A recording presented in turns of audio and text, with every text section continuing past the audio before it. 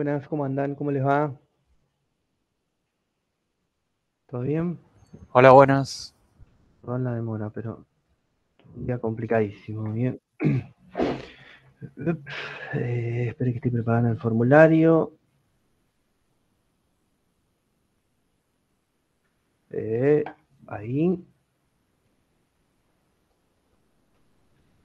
¿Y qué más? Bueno, esperen que lo abro, les paso el link, así ya lo tienen. Respuestas. Vamos. Ahí. Y enviar. Lo que les iba a comentar, que me dijeron desde la coordinación, es lo siguiente. Eh, esperen que me fijo en qué estaba, qué es lo que me habían dicho. Me dijeron que eh, refuerce el tema de la documentación que tienen que presentar para, eh, para, para probar la cursada. Puede ser que haya gente todavía que esté debiendo, creo que es el título secundario, eh, creo que nada más, es una fotocopia del DNI, más que eso no creo que sea. Si hay alguien que lo esté debiendo ese, traten de, de ir cerrándolo ese tema, ¿sí? Porque lo están reclamando bastante. Eh, así que bueno, nada, eso lo quiero reforzar y lo voy a reforzar un par de clases más porque es importante eso. Yo tanto no, lo hago, no lo menciono durante las clases porque como es un tema, digamos, 100% pedagógico, a veces me olvido. Eh, pero bueno, sepan que para que les den el diploma de cursada tiene que estar esa, esa documentación eh, presentada, ¿sí? Así que bueno, esperen un segundito. Esperen que tengo que avisar. Ahora les cuento el quilombo que tengo porque se van también acostumbrando.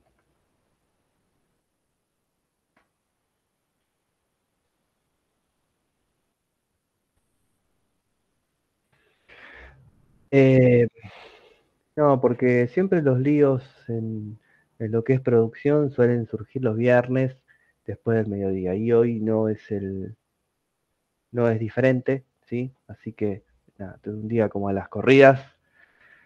Es más, aún uno de los sistemas que tengo no funciona, está medio caído, así que esperemos que no sea un problema del sistema en sí, sino de quién, del Tomcat o de quién lo publica el sistema, porque la verdad es que probé todo lo que había para probar y sigue funcionando mal, así que esperemos que no sea tanto mío el problema. Bueno, eh, pero sepan eso, y nunca hagan un deploy un viernes, eh, y menos después del mediodía, porque después se van todos y queda el sistema roto todo el fin de semana. Así que traten de, no hacerlo. Eh,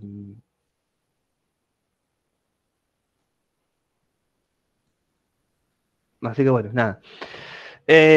por eso que entré un poquito más tarde, porque estaba ahí como meta a chatear con unos compañeros de trabajo para ver si podíamos levantar algo. Pero bueno, perdón por eso. Eh, bueno, no se olvide el tema de documentación. Sí, no deploy los viernes, es casi como si fuese un, mandamiento eso, ¿no? Eh, aunque parezca medio de vago, porque cuando uno dice no, no hacemos deploy los viernes, suena a empleado municipal, no, trabajamos hasta el mediodía, pero no, eh, hay, un, hay un, ¿cómo se dice? hay un argumento para no hacerlo, ¿sí? Y es justamente eso, que por lo general personas que trabajan más que nada del lado de los de, DevOps, eh, por ahí se van, y hicimos un deploy el viernes y salió mal, eh, por ahí queda el sistema todo el fin de semana roto. Entonces, preferible hacerlo el lunes a la mañana, aguantar las, las, ganas y, y, no estar todo el fin de semana roto, que ahí, ahí se la van a ver feas, ¿no?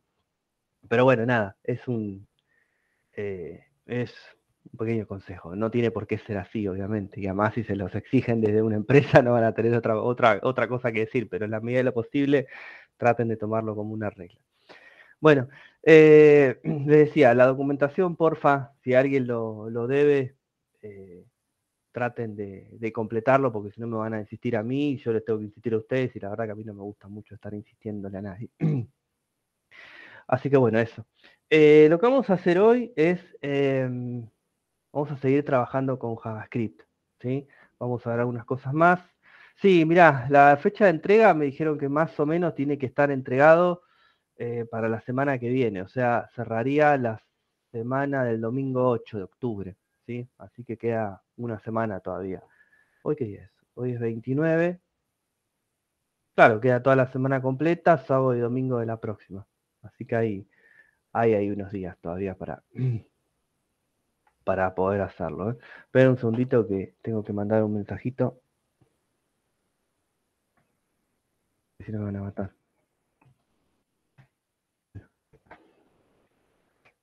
Tengo la lengua afuera, pero sí. Bueno, no hay de confirmar que la haya mandado bien. No hay forma de confirmar que lo haya mandado bien. ¿De qué estás hablando, Eduardo? ¿De la documentación? ¿De la documentación? Eh, ¿Qué es la documentación? Cuéntame ustedes, porque yo la verdad no me acuerdo. ¿Es el título secundario, imagino, DNI, fotocopia de las dos cosas y qué más? Eso solo es. ¿Y qué puede salir mal ahí? No sé, si ustedes la mandaron, eh, de última le pueden poner confirmación de lectura o algo así, pero... Em, pero si no...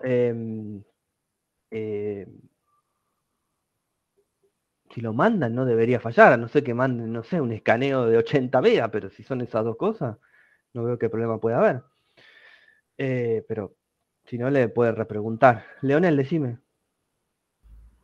Profe, yo quería hacer una consulta del trabajo. Sí. Em, yo más o menos ya lo terminé. Lo que me están quedando son algunos detalles de, de, por ejemplo, de cómo se ve la página en el celular. Capaz que hay una parte. No, mira, ahí, ahí eh, perdón que te interrumpa. Sí. Eh, yo lo que les recomiendo que hagan es lo siguiente, y esto va para cualquier trabajo que entren, no tiene por qué ser esto. Eh, la consigna no hace falta que sea adaptativo, ¿sí? Con lo cual, si ustedes lo ven bien en su equipo, lo pueden entregar así, inclusive no tiene por qué ser exactamente igual, o sea, la idea es que sí, pero obviamente es un trabajo de práctica. Si hay cosas que no quedaron exactamente igual, no pasa nada. Eh, lo pueden entregar así. Yo lo que les recomiendo es hagan una entrega de lo que tienen. Bien, no tampoco una, página en blanco con un H1, ¿no? Pero de lo que tienen. Y después si lo quieren seguir laburando, de última, cuando hacen la segunda entrega, que va a ser con la parte de JavaScript, ahí eh, ahí lo mejoran un poco, o no, como quieran. Pero me parece que eso es lo mejor, sobre todo por la fecha, porque ya queda una semanita. Buenísimo, profe, gracias. Eh, devolución personalizada, Cristina, no, porque somos muchos. Eh, no, no es eliminatorio para nada, Alejandro. ¿eh? No, no, no. no es eliminatorio. devolución, como les digo, mm, personalizada, no. A lo sumo, si yo veo cosas vamos a decir, garrafales, tipo exactamente esto que les planteaba, que me entregan un trabajo que tiene un H1 y, una imagen pegada, bueno, ahí sí les puedo hacer una devolución, chicos, eh, esto así no es, pero, pero si no, no creo que haya una devolución personalizada porque son, somos muchos.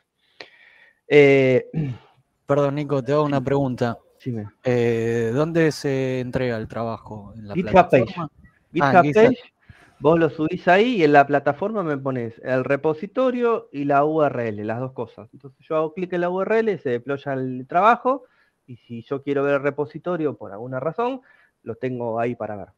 Ok, gracias. De nada. Eh, ¿Algo más? Bueno, eh, nada, lo de la documentación, porfa, les pido para que no me estén tampoco a mí taladrando. Bueno, esperen que voy a presentar. Primero voy a crear la carpetita del día de hoy. Banquen así. Hacemos todo. Pipi, pipi, me traigo esta pantallita para acá. Ahí. Ahí. 62 eh, somos, ¿no? Sí. Nueva.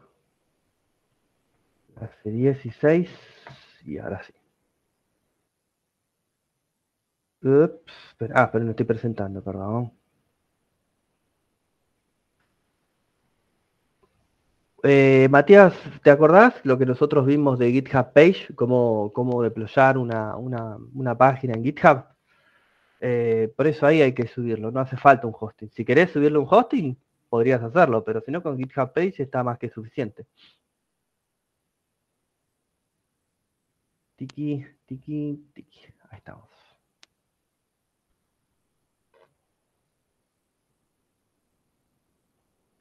Voy a abrir mi Visual Studio Code, lo tenía abierto, Open Folder. Ahí, ahí.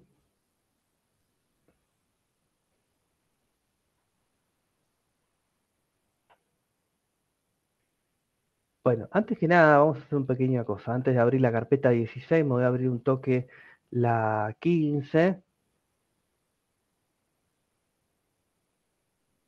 Y vamos a ver qué, vimos un poco. ¿Hasta dónde llegamos? Ah, perfecto. Vimos eh, arrays, ¿sí? Vimos cómo podíamos trabajarlo, joya, buenísimo.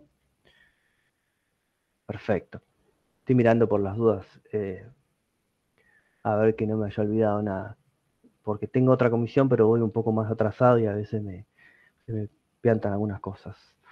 Bueno, buenísimo entonces. Vamos a volver a la carpeta de hoy y vamos a seguir a partir de acá. ¿sí?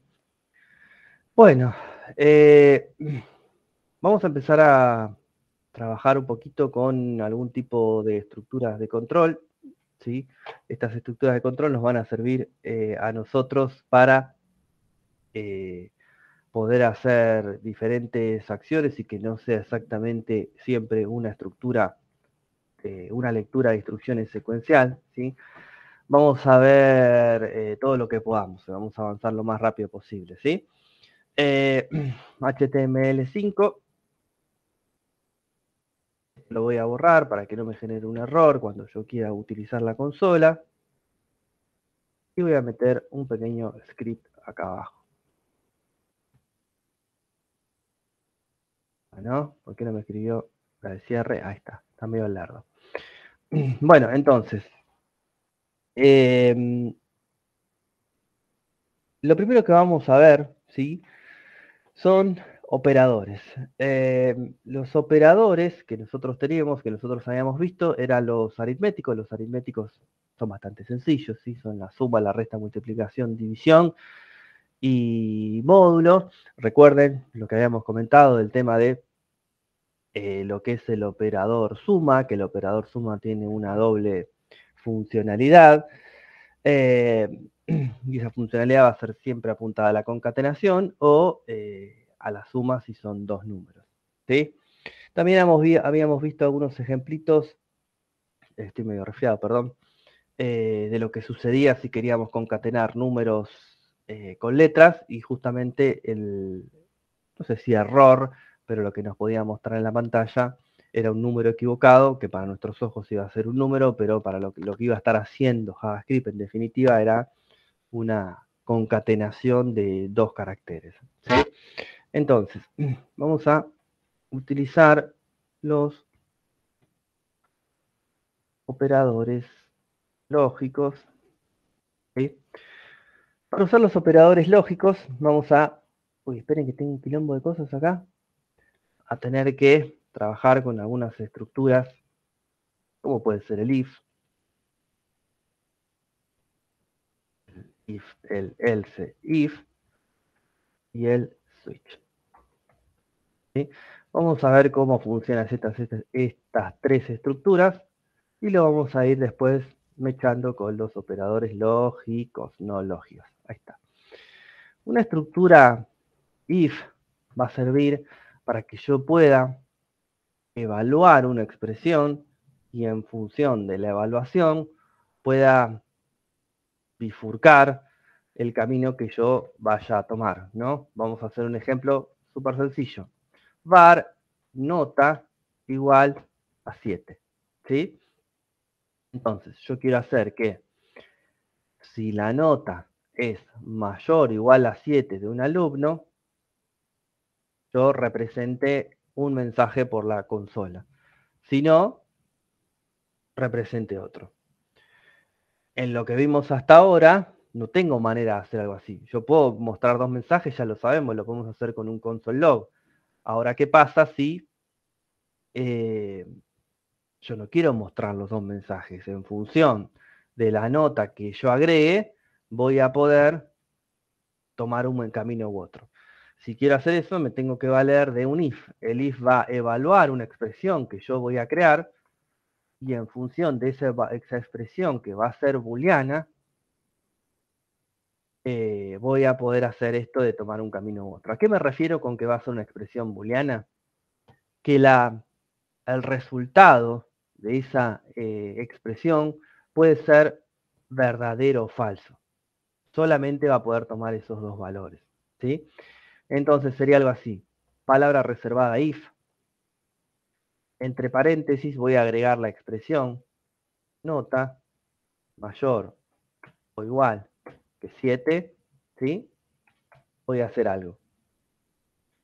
Si esto no se cumple, o sea que la nota es menor que 7, podría ser otra cosa. ¿Sí? Entonces, bien esta estructura, le voy a decir code, no, perdón, me equivoqué, eh, console.log eh, South significa systemout.println, eso es Java, después lo vemos más adelante. Eh, console log, y le voy a poder decir el alumno está aprobado. ¿Sí? Ahora, si esta nota que acabo de crear fuese menor que 7, el alumno no está aprobado. ¿Sí? Vamos a probarlo. Voy a levantarlo con el Go Live.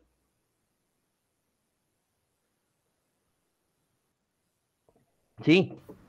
Nico, ¿el paréntesis es obligatorio? El paréntesis no es obligatorio, al igual que las llaves. Pero, eh, el tema es que eh, en la última, en los últimos mandamientos de ECMAScript, que vendría a ser el estándar en el cual se, ata JavaScript, dice que no son obligatorios los paréntesis, que no son obligatorios las llaves, que no son obligatorios los puntos y coma. ¿sí? Eh, eso va en cada uno. ¿Sí? Yo, a mí me gusta usarlo porque yo estoy más acostumbrado a trabajar con, con Java. Eh, pero tranquilamente los podrían obviar que no hay ningún problema. Es más, eh, los puntos y coma nadie los tiene en cuenta de los que trabajan en JavaScript puro, pero bueno, eso va en cada uno, si lo quieren hacer o no. Sí. los puntos y coma y las llaves me parecen bárbaros, pero el paréntesis ese me parece que ensucia el código.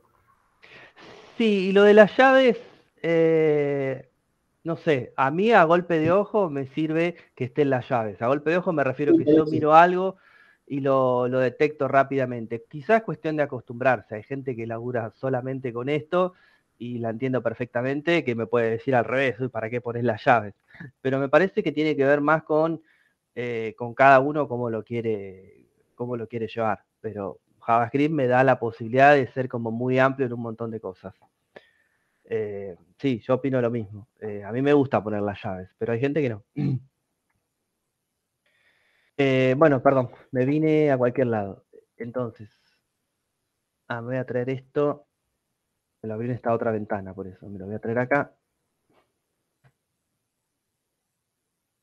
Inspect. En la consola. ¿Y qué es todo esto que me está tirando? File, data, locket round. ¿Y por qué no me está mostrando el resultado? ¿Qué le pasó a esto? A ver. El alumno está aprobado. Vieron que recién no estaba, qué raro. Y no entiendo qué es todo esto, pero esto debe ser algo de lo otro que está abierto acá. Lockdown install, junta S. Qué raro esto. ¿eh? O esto saben que puede ser también. Eh, ¿Cómo se llama? El live serve. A ver, yo la abría ahí directamente, inspect. Consola. Sí, fíjense que hay algo que que está hinchando acá. Porque todo esto de dónde sale. Esto, esperen que vamos a hacer así. Eh, ahí. Me lo voy a abrir directamente desde el archivo porque algo está hinchando con el live serve. Eh, ahora les voy a mostrar algo que seguramente les va a interesar. pero solamente una probadita. Después ustedes lo, revisan si quieren. Eh, esta es la clase 16, ¿no? Sí. Ahí está. A ver ahí. La consola. Ahí está, el alumno está aprobado. No sé qué son esos errores que estaba tirando, pero me parece que tienen que ver con el live ser, que algo está, que algo está hinchando. Eh, bueno, nada, algo que me acordé que les iba a mostrar la clase pasada porque por ahí les interesa. Eh, fíjense que nosotros podemos hacer algo así. Vieron que yo les dije que eh, Java, Script y Node son como unos parientes muy cercanos. Yo tengo acá un archivito, ¿no? si yo le pongo console.log, eh, hola mundo, ¿sí? Le doy guardar como y lo voy a guardar dentro de la misma carpeta nuestra. Ahí, 62, 16. Y lo voy a guardar como hola mundo.js,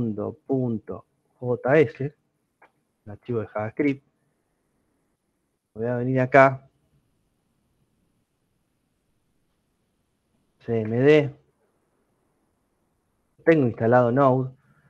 Y si yo le digo Node, hola mundo.js, ahí mi primer resultado. ¿sí? Entonces, Node, en definitiva, es un entorno eh, de ejecución de JavaScript del lado del servidor. No nos sirve tal cual esto, pero bueno, si nosotros ejecutamos cualquier aplicación de JavaScript eh, con el comando node, teniendo descargado node, yo no sé ni la versión que tengo, menos versiones. Sí, ahí está, a ver. Node menos versión, creo que más viejo que... O menos menos versión, o menos B, una cosa así. Ahí está, menos menos versión. Es una versión viejísima, pero funciona igual. Si a uno le interesa Node, todo lo que estamos viendo nosotros acá está bastante cercano a cómo funciona Node, por ahí se enganchan por ese lado. Pero bueno, a mí son lenguajes que tanto no me atraen. Bueno, perdón, hice un paréntesis para mostrarle algo que por ahí les podría interesar. Volvamos acá. Eh, cuando yo trabajo con un if, no necesariamente, no necesariamente, siempre tiene que haber un else si no es obligatorio que esto suceda. Porque yo puedo estar evaluando que si sucede eh, una condición, voy a hacer algo, pero si no sucede esa condición, no absolutamente nada. Con lo cual, si esto no estuviese, no habría ningún problema. ¿sí? No habría ningún problema. Pero se nos, nos podría pasar lo siguiente. ¿sí? ¿Qué pasa si yo necesito que aquel alumno que tenga una nota mayor que 7, yo le voy a decir, el alumno está, vamos a decir, eh, promocionado, ¿sí? Pero yo quiero evaluar si el alumno eh, se sacó, qué sé yo, otra nota. Yo le podría decir, else if podría, sobre la misma variable, ejecutar otra expresión. ¿sí? Tiene que tener sentido. ¿Por qué? Porque si yo le pregunto acá, si nota es menor que 7, podría haber utilizado el else directamente. Porque si no es mayor o igual a 7, es menor no hay mucha vuelta que darle. Entonces, podría haber utilizado el else. Pero vamos a suponer que yo necesito evaluar la nota estuviese entre 4 y 7. ¿sí? O sea, que sea mayor o igual a 4 y menor que 7. En ese caso, el alumno estaría aprobado. Aprobado, vieron que significa que, aprobaste la materia, pero que quizá tengas que dar un examen final. Y bueno, y si es menor que 4, obviamente estás desaprobado. En ese caso, que son tres salidas que podrías llegar a tomar, nos encontramos con el problema de que a mí no me sirve el if y el else. porque necesito poder reevaluar un resultado una vez que me dijo que no. Pero nos vamos a encontrar con un inconveniente. Yo puedo preguntar si nota es mayor o igual que 4. Hay que 4. Pero acá nos vamos a encontrar con una, con una ambigüedad. ¿Por qué? Porque si la nota fuese 7, saldría por acá, pero también podría salir por acá, independientemente de que va a tomar uno de los dos caminos, ¿no? Esto no tiene mucha lógica lo que estoy armando, solamente quiero que se quede bien claro cómo deberíamos armar la expresión para que funcione. El 7 es mayor o igual que 7 y es mayor o igual que 4, con lo cual esta expresión no tiene mucho sentido. ¿sí? Esta expresión yo le voy a tener que agregar, si es que quiero armar una, algo como lo que estoy pensando en mi cabeza, que evalúe también que nota sea eh, menor que 7. Si yo le pongo menor o igual que 7, también estoy, incluyendo, estoy incurriendo en un error, porque arriba estoy preguntando si nota es mayor o igual que 7, y abajo estoy preguntando si nota es menor o igual que 7 nunca va a salir por acá, jamás, porque si es 7, siempre va a salir por ahí. Pero además, yo lo que tengo que pensar es qué voy a poner acá en el medio. ¿sí? Ahí entran los operadores lógicos. Los operadores lógicos son AND y son OR. ¿sí? Entonces, yo voy a tener que decirle si nota es mayor o igual a 4 y nota es menor o igual a 7. Con los operadores lógicos no podemos dejar de pensar en las tablas de verdad. ¿Por qué? Cuando yo evalúo una expresión múltiple que tiene varias expresiones y todas están encerradas, están relacionadas con un i, para que esa expresión completa devuelva un verdadero, todas sus partes tienen que ser verdaderos. ¿sí? Entonces, para que salga por acá, para que haya un console, punto ¿sí? y diga el alumno está aprobado, uh, nadie lo vio eso, ¿eh? aprobado, ¿sí? Se tiene que cumplir las dos partes de esta expresión. Que la nota sea mayor o igual a 4 y que la nota sea menor que 7. Lo había dejado mal. ¿Sí? Si alguna de las dos no se cumple, nunca podría salir por acá. Si nota fuese un 3, por ejemplo, la primera parte pregunta, nota, ¿es mayor o igual que 7? No, ni bola le va primero. Viene acá, que es lo que nos interesa ahora. La nota es 3. Vamos a suponer que arranca por la segunda parte. Dice, ¿nota es mayor, es menor que 7? Sí, porque es un 3. Pero solamente se va a cumplir esta condición si también la primera parte de la expresión es verdadera. Si esta parte es verdadera y esta parte es verdadera, toda la expresión es verdadera. Entonces, en este caso, que es un 3, ¿es menor que 7? Sí. ¿Pero es mayor o igual que 4? No. Entonces, esta expresión que devuelve un false. ¿Qué le faltaría a esto? Un else. Y acá diría, el alumno no está aprobado. ¿Sí? ¿Hace falta que reevalúe acá? La verdad que no me interesa. ¿Por qué? Porque yo ya con esto y con esto cubro lo que yo necesito saber si es mayor o igual que 7 o si está entre 4 y 7. ¿Sí? Vamos a probarlo. Me venía acá y dice, el alumno no está aprobado. ¿Sí? ¿Por qué? Se sacó un 3. Si se sacas un 4, el alumno está aprobado. ¿Sí? Si sacas un 7, obviamente el alumno está aprobado. ¿Podría yo hacer algo así? Independientemente de que JavaScript me está diciendo, te estás mandando una macana. No de eso por un segundo. ¿Por qué no podría hacer algo así? A pesar de que me está diciendo que está mal, ya sabemos. Pensando lógicamente. Sí. El primer ya te cubre lo otro. Exactamente, porque si, si me permitiera hacer algo así, este else ya directamente contradiría esto que está acá, porque vamos a pensarlo lógicamente, ¿no? Es 4. Pregunta, ¿es mayor o igual a 7? No, listo, salgo por acá. Y ya está, y se acabó todo.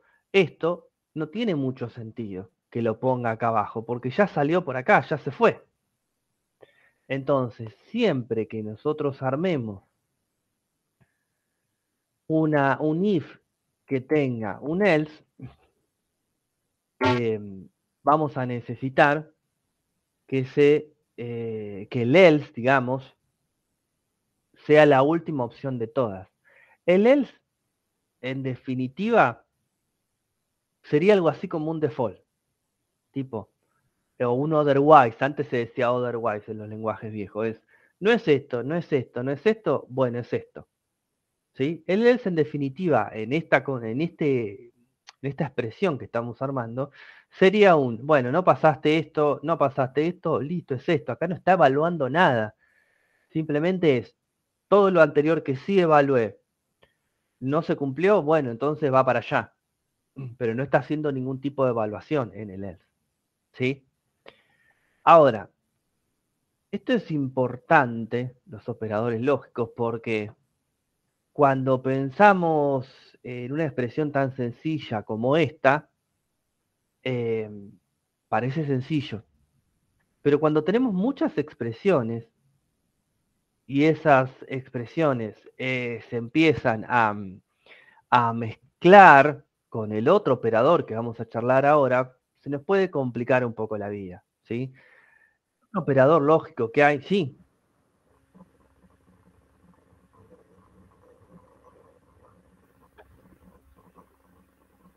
Y no sé quién estaba para Jorge, vos. Yo, Nico, sí. Eh, igual me parece que en este caso el AN nota menor igual que 7 no es necesario porque hubiera salido por la condición, por la primera. Y ya no... Eh, siempre, va a siempre va a ser menor que 7, si no, no va a entrar al segundo. Acá, pero yo acá lo que quiero evaluar es si la nota está entre 4 y 7. Por eso, pero con que preguntes mayor o igual que 4 sería suficiente. Porque si fuera menor, ah, también, sí. por arriba hubiera salido si es mayor o igual que 7. Sí, también. Eh... El, Andes ahí me parece que como que Bueno, sí, podría ser como más abarcativo. por para, para ver el Andes está bien, digamos. Sí. Eh, ahora, el, el problema que podemos llegar a tener es con la condición O. Porque la O, y asocien esta palabra para no olvidarse, es alguna. ¿Sí? Cuando estamos con uno, ante un operador O, es Si alguna de las condiciones se cumple, la respuesta va a ser verdadera si estamos ante el operador y, todas las condiciones se tienen que cumplir para que sean verdaderas. Es más, si ustedes grafican una tabla de verdad, eh, van, va a ser exactamente el mismo, el mismo resultado. Sí, esperen que yo algo. Ahí llegaron varios. Ahí, ahí.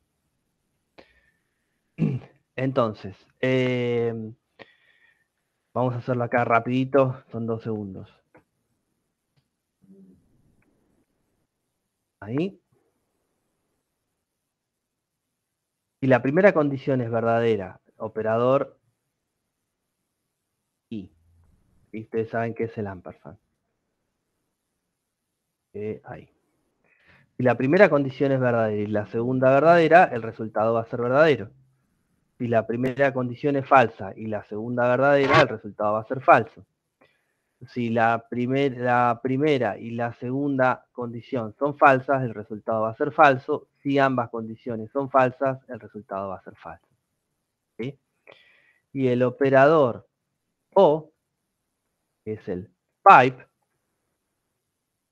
si alguna de las dos es verdadera, la respuesta va a ser verdadera. Entonces, si la primera es falsa y la segunda es falsa, la respuesta es falsa. Si la primera es falsa y la segunda es verdadera, la respuesta es verdadera. Si la primera es verdadera y la segunda es falsa, la respuesta es verdadera. Y si la primera es verdadera y la segunda es verdadera, la respuesta es verdadera. ¿sí?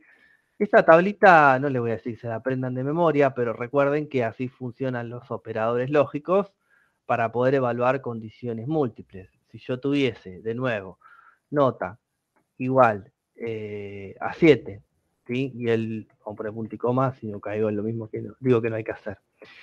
Tengo eh, un estado igual a true, ¿sí? yo puedo preguntar si nota es mayor que 7 o estado es igual a true, voy a hacer algo. Acá me está tirando un error y es que es doble igualación, ¿sí? Porque estoy eh, haciendo una comparación, no estoy asignando un valor. Y acá le voy a poner console.log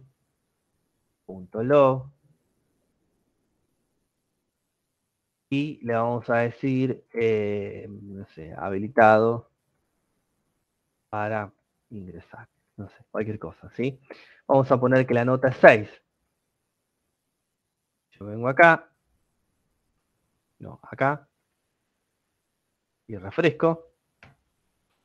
Está habilitado para ingresar. ¿Por qué está habilitado para ingresar?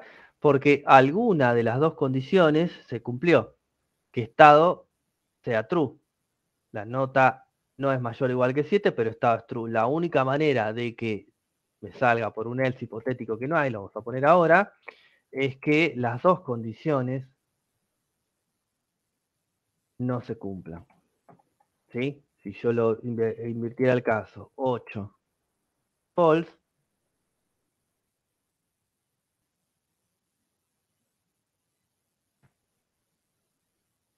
eh, 8 y false, Exactamente, se sigue cumpliendo la condición que está habilitado para ingresar. ¿sí? La única manera sería que ambas condiciones sean negativas. Recién ahí no está habilitado para ingresar. ¿sí?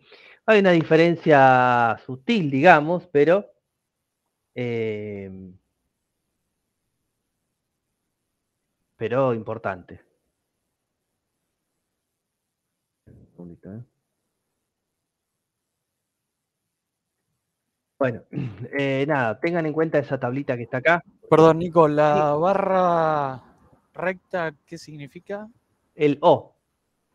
Ah, está bien. Es el operador lógico O. Pipe. ¿Se entendió más o menos? Estamos. El mundo lo dejo ahí. ¿Dudas, consultas? Miren que esto es importante, ¿eh? que después se complica un poco. Sí, díganme, ¿alguien levantó la mano? Bueno, se me loco el mouse. Hay que subirle un hosting, joya, buenísimo. Bueno, eh, sigamos entonces. Eh, ¿Qué pasa si yo necesito hacer evaluaciones múltiples sobre algún dato? A ver, ¿lo podría hacer con un else if? Sí, tranquilamente lo podría hacer, pero bueno, podría llegar a ser un poco engorroso. Entonces, en lugar de un else if, tengo una estructura que se adapta más a tal necesidad, que es el switch. ¿sí? Vamos a crear una var que diga OPC igual P de dedo. ¿sí? Vamos a hacerlo con caracteres también, no habría ningún problema, pero bueno, vamos a hacerlo con, eh, con, una, con una letra. Esperen que estoy revisando unas cosas. Tiki tiki. Ah, que no quiero hacer macana. Uh, funciones, ya vamos a ver funciones hoy. Bueno, eh, si yo quisiese evaluar múltiples valores que podría llegar a tomar OPC y en función de esos múltiples valores que pueda llegar a tomar, eh, elaborar una respuesta diferente, no voy a hacer un else if, aunque podría, ¿sí? Tranquilamente podría. Voy a utilizar un switch. Al switch yo le tengo que suministrar como argumento OPC, que es la variable que yo quiero analizar. Y dentro del switch voy a abrir y cerrar llaves. Lo que voy a hacer acá es evaluar eh, los diferentes casos, los diferentes valores que puede llegar a tomar el switch. Entonces yo le voy a decir case A, ¿sí? Dos puntos, y voy a escribir un poquito orientado para que sea un poco más legible siempre, no todo pegado contra la llave, porque si no es bastante difícil de seguir. Y le voy a poner un console.log. La letra ingresada es A. ¿Sí? El switch siempre va a estar acompañado de una instrucción que se llama break. ¿Para qué sirve el break? Sirve para que se corte la ejecución del switch una vez que encontró el case que se corresponde. ¿Por qué? Porque si no va a seguir analizando todos los diferentes cases hasta llegar al final de la estructura de iteración, de control. ¿sí? Acá no va dos puntos, acá va dos puntos, no punto y coma. Entonces, una vez que encontró el dato que necesito, yo hago un break y el break corta la ejecución de este suite y seguiría por lo que estuviese acá abajo. Si nosotros tuviésemos eh, un array, como vimos o como hablamos la semana pasada, que tenga 200 números sin repetir. Vamos a suponer que tenemos 200 números sin repetir. Y yo estoy buscando el número 8. Si yo lo encontrase en la posición número 5, la verdad que buscarlo desde la 6 hasta la, no me acuerdo qué dije, hasta la 199, no tiene mucho sentido porque yo ya lo encontré. Entonces, en ese caso, podría utilizar una instrucción break para que cuando yo encuentre el elemento que yo quiero, listo, ya está, corto la ejecución de la búsqueda, porque no tiene ningún sentido el estar buscando algo que una vez que lo encontré, ya sé que no va a estar de nuevo.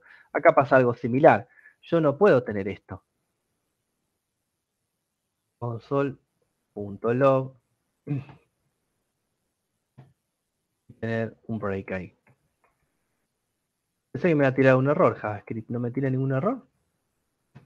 Bueno, ahora lo compilamos a ver si cuando. Compilamos no, porque esto no compila. Ahora lo corremos a ver si me dice algo cuando lo corro. Java, Java no me deja tener dos cases iguales, pero vamos a ver si ahora nos tira algo cuando ejecuta. Eh, ahí, vamos a dejarlo tal cual. Y vamos a hacer un copy-paste de esto para aprovechar las otras opciones y no tener que estar escribiendo tanto. Lo voy a poner ahí. Esto va a ser B y vamos a poner C y uno más.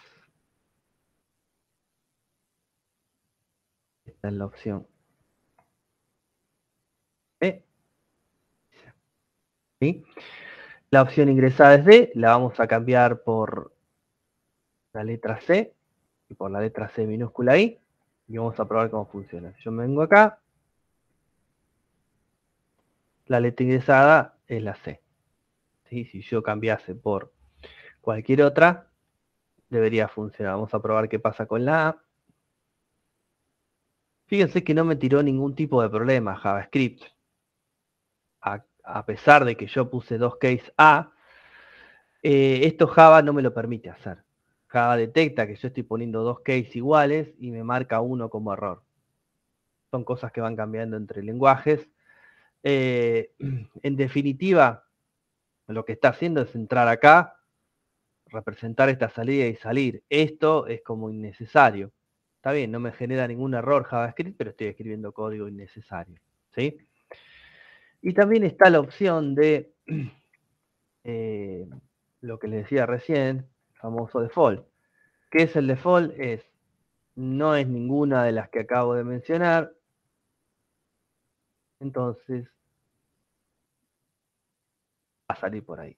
La letra es otra. Eh, ahí. vengo acá. Y es una A porque no cambié otra. Claro, qué pavote que soy. No va a funcionar nunca. Es una Z.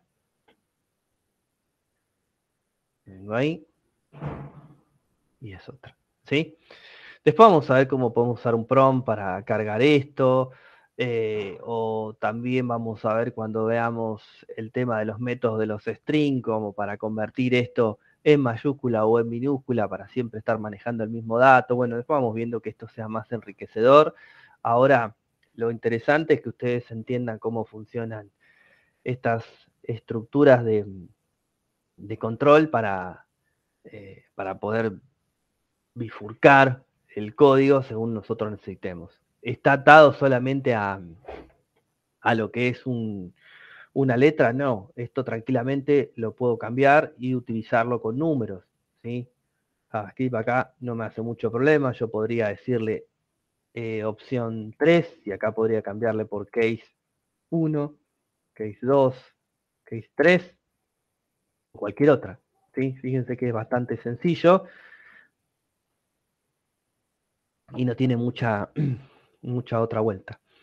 Eh, el switch creo que evalúa solamente números y evalúa solamente em, un char, ¿sí? o sea, un carácter. Eh, no se puede utilizar para un string ni para un date, si se les ocurriese, sería algo muy loco, ¿no? Ya lo sé, pero bueno. Eh, pero no se puede utilizar para tal función. Quizá en JavaScript sí, porque es bastante loco, pero Java no me lo va a dejar hacer que no sea para estos dos tipos de datos nada más. Eh, y si ustedes quisieran armar algo como esto, con un else if, sería exactamente lo mismo. If 1. Si no es 1, pregunto else if 2. Si no es 2, pregunto else if 3. Y si no, le mando un else al final y chao. Lo mismo que estoy armando acá, lo puedo armar con, eh, con con un if. Inclusive se pueden agregar acá llaves. .NET aún permite agregarle las llaves. A script calculo que también, como para poder encerrar un poco el código y poder verlo, pero al, haber, al estar los case es como que se hace bastante visible que no estén las llaves. Yo les digo esto para que no suene a que en un momento le digo usen la llave y en otro momento digo no la usen las llaves. En el caso del switch, al estar los case, es como que queda bastante limpio el código. Pero si quieren agregar las llaves, pueden. Eh, bueno, ¿se entendió este más o menos? ¿Estamos bien? Esto les va... Podría llegar a servir, por ejemplo. Bueno, cualquiera de los dos. Pero vieron que cuando ustedes arman lo que sería el, el, integrador de JavaScript, que tienen que elegir entre tres tipos de entradas, creo que estaba Junior, eh, no sé, había tres tipos de entradas y en función de eso ustedes tenían que calcular un descuento. Bueno, no tiene mucha vuelta. En el backend, en algún lado, tiene que haber un switch o un else if en función de lo que eligieron previamente bueno, viene de acá, caso 1 hago tal descuento, caso 2 hago tal descuento, caso 3 hago tal descuento. ¿sí? Ya sea un if o sea un switch, algo de esto tiene que haber para que así funcione. ¿Sí? ¿Vamos bien acá? Bueno, sigamos entonces. Si no preguntan, asumo que está todo bien, ¿eh? Bueno. Si no, me avisan. Vamos a pasar a otra cosa bucles. Yo me voy a ver en la necesidad, obviamente, de ejecutar instrucciones eh, una determinada cantidad de veces, ¿sí? que podrían ser una, dos, cinco, ocho mil, diez mil. A ver, no hay un, eh, no hay mucha vuelta que darle. Eh, vieron que yo les comenté que tuve un quilombo. Bueno, yo tengo que levantar un listado en Excel de personas que tiene casi 400.000 filas el, listado. ¿sí? Yo tengo que leer fila por fila. La instrucción de leer yo la escribo una sola vez y la ejecuto 400.000 veces. Imagínense que si yo tuviese que a copiar y pegar la misma fila para leer esos registros 400.000 veces, mi aplicación sería una monstruosidad, tanto en, lo, en la práctica como en el peso del archivo, como en todo. Entonces ya sabemos que existen veces en que vamos a necesitar eh, ejecutar eh, una misma instrucción una n cantidad de veces. Existen varias formas de poder hacer esto. Eh, hay algunas que están más vinculadas a, una a algún tipo de estructura que otras, Pero tenemos los clásicos while, lo que sería el do while, tenemos otra forma que es el for, y tenemos otra forma que es el for each, ¿sí? Cada una tiene sus pros, sus contras, cada una tiene sus ventajas y desventajas, eh, y cada una está apuntada a cierta cosa u otra. Vamos a hacer un ejemplo y después ustedes mismos me dirán cuál es la diferencia entre uno y otro. ¿Sí? Yo voy a crear una variable que se llame x igual a 10. Yo voy a ejecutar un pequeño código, esperen que tengo que hacer el mismo que hice siempre, porque si no después me dicen algo. Yo voy a ejecutar un código que diga do. Do significa hacer. Voy a bajar las llaves acá. Esto es algo personal que a mí me gusta hacerlo, que estén las llaves alineadas a la instrucción que las inicia, pero solo es personal, ¿sí? cada uno trabaja como quiere. Y al cierre de la llave, perdón, y a continuación de la llave del cierre, voy a poner una condición. ¿Por qué? Por una cuestión lógica. Si yo eh, voy a ejecutar un proceso donde algo se va a repetir, ese proceso en algún momento tiene que cumplir alguna condición para que deje de hacerlo. ¿sí? Si no, ¿cuál es el límite? Y en un programa de computadora va a ser el límite de memoria de la máquina. La memoria tienen una capacidad, una capacidad importante, así que va a estar ejecutándose hasta que reviente la memoria de la máquina. Con lo cual, eh, es importante que entendamos que este, esta cláusula de salida, este límite, tiene que existir de alguna manera, en algún momento se tiene que cumplir. Puede ser eh, porque llega un punto donde eh, se acaba, qué sé yo, el tiempo, ¿sí? Por ejemplo, sin ir más lejos, alguien habrá escuchado alguna vez lo que es un timeout de una página web. Cuando una página trata de cargar o trata de devolver alguna información y tarda demasiado, tira un timeout. ¿Qué es un timeout? Es estoy tardando demasiado, por las dudas pincho y corto. Si no queda quizá eternamente, porque por ahí está funcionando bien el proceso, por ahí tarda mucho en devolverlo, pero por ahí está colgado. Entonces, por una cuestión de seguridad y justamente eh, para que ese proceso no tarde demasiado, se les configura 20 segundos. Listo, no te devuelve la información en 20 segundos, tira un timeout, por las dudas. Acá no hay, no hay muchas diferencias. Yo voy a tener que, de alguna manera, escribir acá una expresión que se pueda cumplir para que, em, para que esto funcione. Si no, no va a andar nunca. ¿sí? Entonces, ¿qué le podemos decir acá? Esperen que yo alguien. Admitir.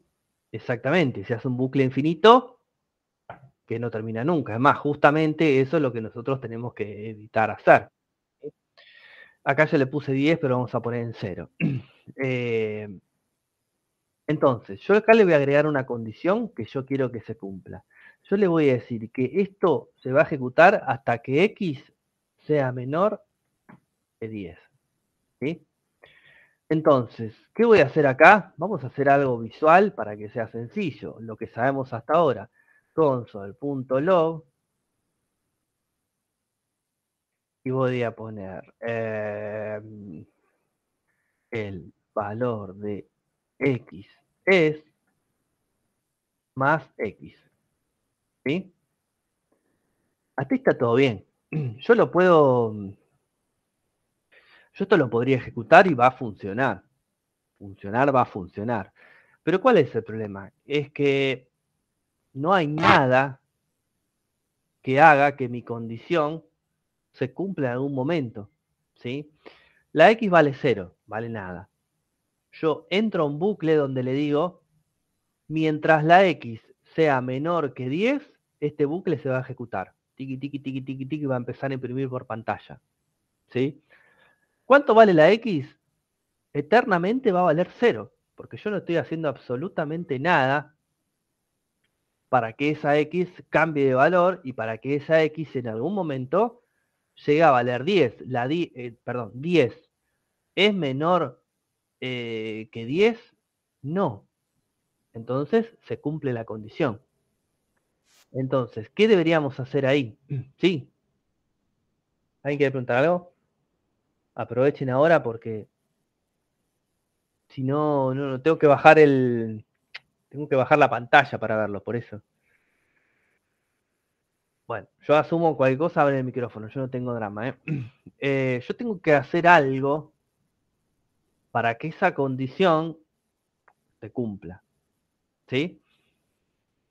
¿Qué es lo que voy a hacer? Voy a hacer que mi variable, cada vez que se imprima un console log, se incremente en una unidad. ¿Sí?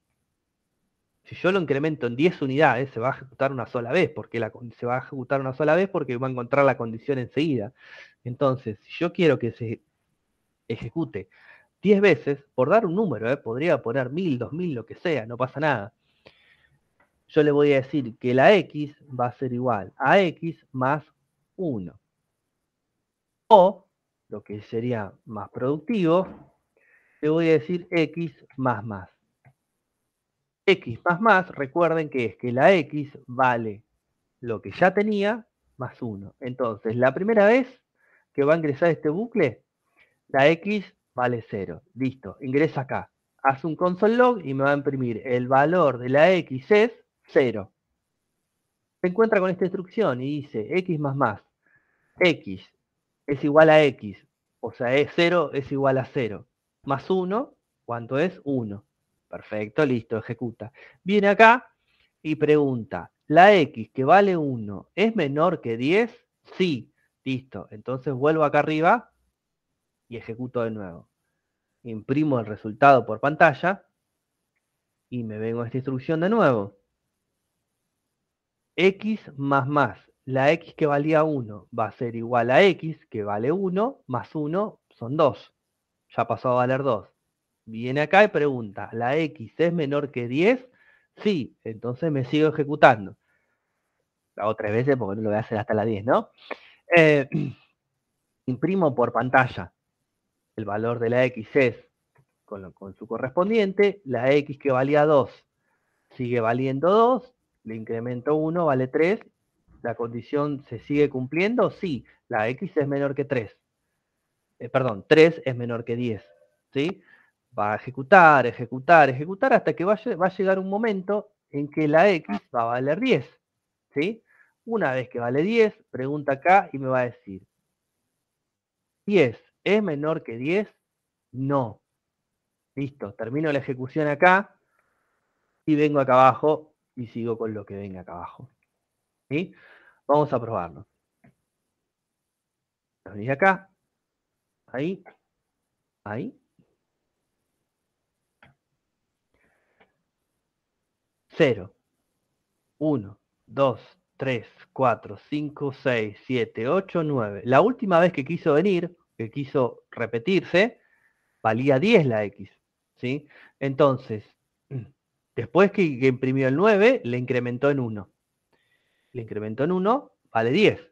Viene acá, pregunta. Eh, no, esperen que lo dije mal valía 9. Cuando viene acá, pregunta si es menor que 10 y termina de ejecutarse porque ya vale 10. ¿Sí? ¿Hay algún límite para esto? No hay absolutamente ninguno. Simplemente que la condición se cumpla. Si yo le tiro acá un 100 y recargo, funciona igual. Si le pongo 2000, funciona igual. Si le pongo 3000, funciona igual. El límite es la cantidad de memoria de la máquina, pero no es algo tampoco que sea eh, un limitante para nada. ¿sí? Entonces, esta instrucción tiene una particularidad que la hace diferente del resto. ¿Cuál sería? Que lo pongo acá para que... Ay, qué mal que estoy con las teclas. La estructura do se ejecuta al menos una vez. ¿sí? ¿Qué quiere decir esto? Que aunque mi condición no se cumpla de movida, se va a ejecutar una sola vez, aunque sea una vez. Vamos a hacer este ejemplo. La X, la condición es que X sea menor que 10. ¿sí? Y mi X va a valer 20. Ahí, ahí. Vengo ahí, limpio. El valor de la X es 20. ¿Y esto por qué sucedió? Primero ejecuta y después evalúa. Entonces, la condición o digamos eh, la particularidad que tiene esta estructura do y que justamente para eso está pensado es que se ejecute primero y después evalúe si la condición se cumple o no. En el peor de los casos, que es este el que estoy planteando yo ahora, en el peor de los casos, se va a ejecutar una sola vez. ¿Sí? La X vale, vale 20 y la condición para que este bucle se itere hasta con eh, itere es que la condición se cumpla que sea x menor que 10, pero la x vale 20. Pero como primero ejecuta y después se evalúa, sale, imprime una sola vez, eh, aumenta y después eh, termina la ejecución. Si yo acá le tiro un console, punto log, ah, lo tengo acá arriba, qué pavo. Ahí. Lo vuelvo a mostrar. La X vale 21. ¿Por qué? Porque lo ejecutó una vez, lo incrementó, como la condición no estaba dada para que se siga ejecutando, terminó la ejecución. ¿Sí? Pero eh, una vez al menos se ejecutó. ¿Sí? Ahora, ¿qué pasa si tenemos el caso de que yo necesito evaluar primero y ejecutar después? ¿Sí? Para lo cual tenemos la estructura Y. Se, se ejecuta solo si la condición se cumple. O sea, llevando a las palabras de lo que vimos antes, primero va a evaluar. Si esa evaluación no es satisfactoria, no va a hacer absolutamente nada. Entonces, ¿cómo sería? Es similar, pero diferente.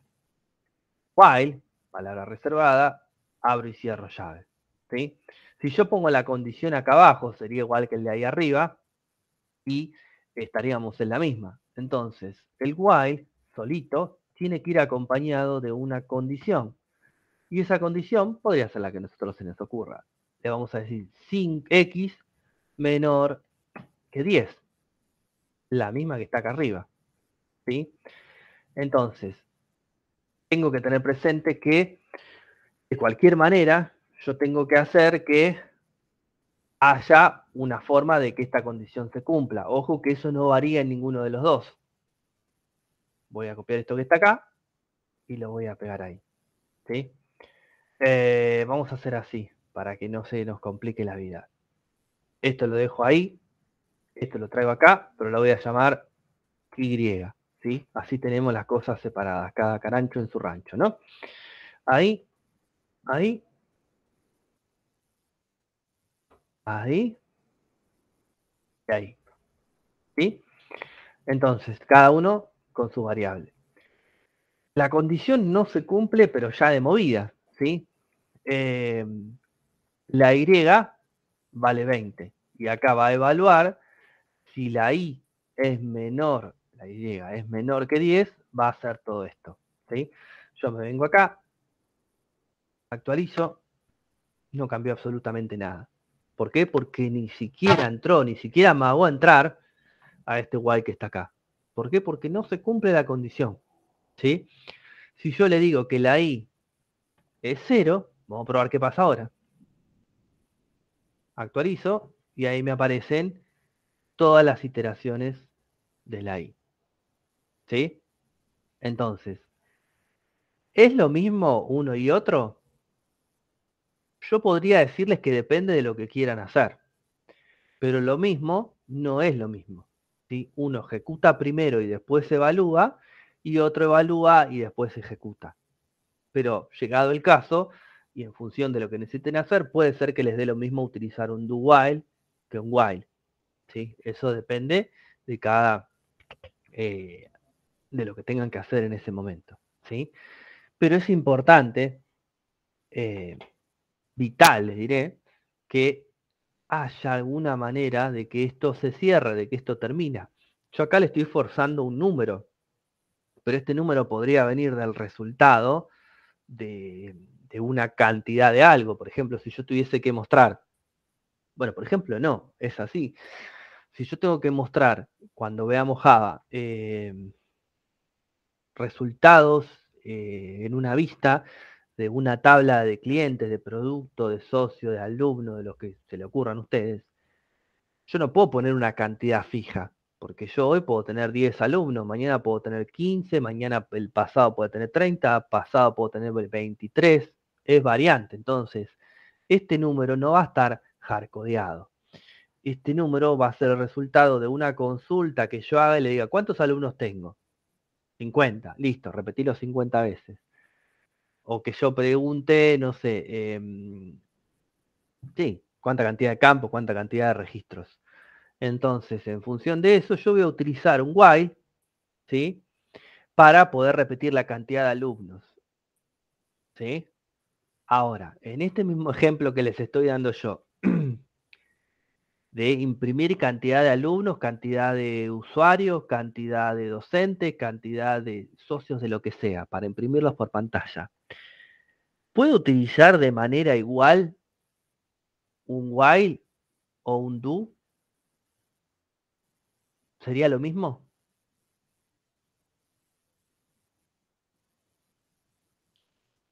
Pensémoslo. ¿Qué pasaría si yo no tengo alumnos? Si yo no tengo alumnos y utilizo un do, ¿qué va a hacer esto? Cuando yo le imprimí el primer registro con todos estos datos. Después va a venir y va a evaluar y me va a decir, no, no tenés alumnos. Va a tirar un error porque no, no tiene Exactamente. Yo no podría utilizar esta estructura para hacer algo del cual yo no sé el resultado, porque tranquilamente yo podría no tener alumnos, no tener socios, no tener lo que sea, y lo voy a querer imprimir, porque aunque sea una vez se ejecuta, y esto me va a tirar un error, va a romper, porque me va a decir, ¿qué querés que imprima si está vacío la, la tabla, la base de datos, lo que sea? está vacío, no puedo imprimir absolutamente nada, pero yo lo mandé a ejecutar primero y después evalué. Entonces, en este caso hipotético, hipotético no tanto, porque se puede, usar, eh, se puede usar tranquilamente, primero voy a evaluar, primero le voy a preguntar, ¿tengo alumnos? ¿Tengo productos? ¿Tengo socios? Sí, bueno, listo, entonces empezamos a imprimir. ¿Se entiende la diferencia en que yo necesito evaluar eh, el tipo de dato que voy a utilizar el tipo de estructura que voy a utilizar en función de mi necesidad en ese momento. ¿sí? Ahora, volviendo a lo que les planteaba recién, si yo hiciese una consulta previa y eh, preguntase, ¿tengo alumnos? Sí, tenés 30. Podría usar un do, pero primero evalué si tengo. Entonces yo ya empiezo a imprimir, no habría ningún problema. Pero hice la consulta previa para evaluar si esto no me va a dar un error. En el otro sería más limpio porque yo directamente empiezo a imprimir si es que hay alumnos. No tengo que hacer una consulta previa. Pero bueno, esas son cosas que ustedes después van a ir viendo solos. Eh, o buscando Stack Overflow lo que sea, pero eh, son cosas que uno se va avivando con el uso de este tipo de estructuras. ¿sí? Eh, cuando nosotros hablamos de un ejemplo como este que yo les estaba planteando, por ahí la estructura que va a estar más ligada a este tipo de, datos, ¿sí? a mí eh, el, volcado de una base de datos, sea, ya sea de alumnos, de socios, de, de, lo que sea, yo lo voy a tener que almacenar en una estructura de datos que no van a poder ser variables simples. Si no, yo, vamos a suponer que tengo 30 alumnos, tendría que 30 alumnos con nombre, apellido, DNI, teléfono, mail. Yo tendría que armar 30 variables de, eh, del tipo entero, digo número, 30 del tipo string, 30 del tipo string, 30 del tipo string, para nombre, apellido, DNI, todo. Sería una locura, con lo cual yo eso no lo voy a manejar así directamente. Yo voy a manejar estructuras de datos más complejas dentro de lo que es eh, dentro de lo que Java hay muchas. Una de ellas es un result set. Un result set es, es un bloque de datos eh, divididos por coma, eh, normalizado, con lo cual yo pueda recuperar todo lo que es ID, todo lo que es nombre, todo lo que es apellido, todo lo que es DNI. ¿sí? Pero bueno, lo vemos más adelante. esa estructura de datos, yo la, para imprimirla, voy a necesitar una estructura de control como algunas de las que vimos ahora, ¿sí? Pero esas estructuras están más vinculadas a otro, eh, a otra estructura de, control que tiene, se llama for, ¿sí? O, vamos a ver los dos, for each, ¿sí? Estos están más vinculados a lo que son estructuras de datos complejas como los array, eh, como los, eh, las listas, las pilas, las colas, eh, los enum, los diccionarios, bueno, hay un montón, no, son pocas, hay un montón de cosas para ver. Java maneja de todo, así como maneja de todo, también a veces demasiado. Pero bueno, vamos a hacer un pequeño ejemplo. var, números, ahí, y vamos a poner acá un array de números. 12, ta, ta, ta, eh, mando cualquier fruta.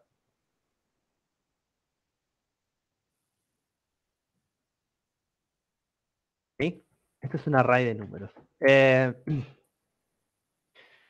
para imprimir esto, ¿puedo utilizar un do? Sí. ¿Puedo utilizar un while? Sí. Pero hay formas más sencillas y esas formas están más alineadas a lo que es el for y lo que es el for each. ¿Sí?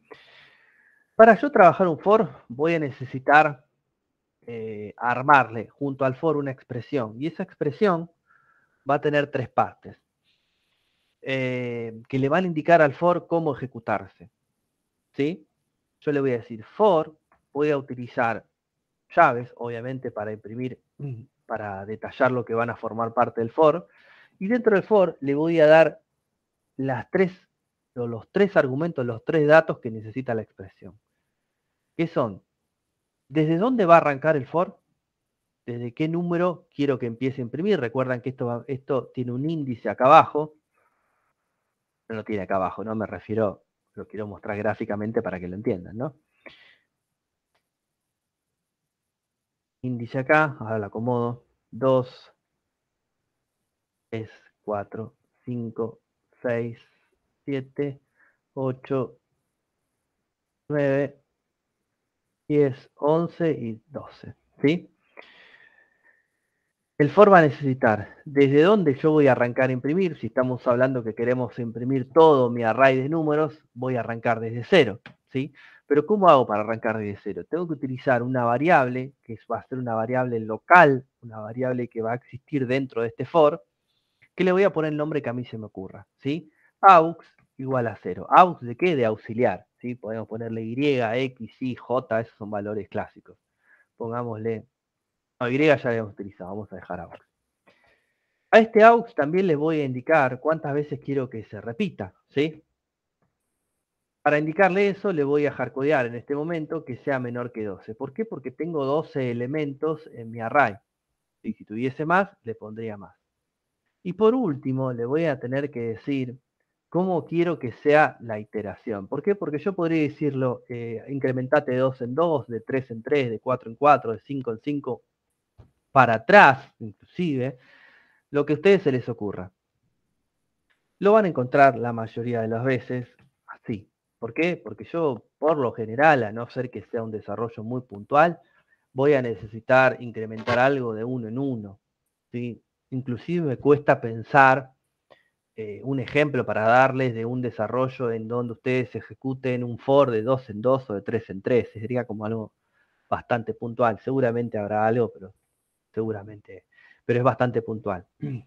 Entonces, este for va a conservar esa forma. Desde dónde arranco, hasta dónde voy a ir y de tanto en tanto eh, voy a ir iterando. ¿sí? Cualquiera de los tres valores yo los podría configurar. E inclusive le podemos decir que, no lo voy a hacer ahora porque es complicarlos al cohete, pero le podría decir que arranque en 12, que vaya hasta 1 y que la iteración sea de 1 en 1. En definitiva voy a hacer la misma iteración, pero contándola al revés. ¿sí? No tiene sentido ahora. Pero bueno, vamos viendo. Lo que tiene bueno el for es que como yo le aclaro todo esto acá arriba, yo adentro de su estructura no necesito ponerle nada. Le digo console. Le voy a decir console.log. Y le voy a decir el valor de números. ¿Sí? Voy a abrir la llave acá. El corchete ahí. Más aux más cierro corchete ahí. ¿Por qué? Porque yo quiero que me ponga entre corchetes lo que vale esta variable. No estoy imprimiendo esto todavía. Solamente quiero que esta variable me imprima. Y a, y a continuación le voy a concatenar números aux. ¿Sí? Vamos a ver el resultado de esto. Vengo ahí, ahí. Me faltó ponerle un dos puntos, algo, un igual, pero fíjense que me dice el valor de números en la posición 0 es 12 en la 1 es 44, en la 3 es 1, en la 9 es 122, en la 11 es 23. ¿Sí? 0, 1, 2, 3, 8, 9, 10, 11. Ah, porque yo le tenía puesto menor que 13. Bueno, igual acá ah, después vamos a ver un método de los strings que nos va a ayudar a que esto no esté hardcodeado siempre. ¿sí? Esto que está acá, ¿se entendió? Porque esto confunda un poco. Lo que hice acá, ¿se entendió? imprimí concatenado un texto, el valor de la variable aux, después le concatené como texto para que cierre la oración y después le imprimo el array en su índice correspondiente. ¿Sí? ¿Estamos bien ahí? Ok, supongo. Bueno, me van preguntando si no. ¿Sí? Entonces, em, esto, es el, esto es el for, ¿sí? Lo que yo les decía, que esto lo vamos a ver la clase que viene, los, hay una serie de métodos que yo tengo disponible para trabajar en JavaScript, que en definitiva un método es eh, una función que ya es propia del lenguaje, que me va a facilitar a mí hacer un montón de cosas. Vamos a suponer que yo acá, en lugar de 12 elementos, tuviese, qué sé yo, 3.332, no sé, un número enorme. ¿Cómo sabría yo qué le pongo acá? Porque este eh, bar de, este array de números podría ser enorme. ¿Qué voy a contar posición por posición para saber, ah, hay 3.332, qué sé yo?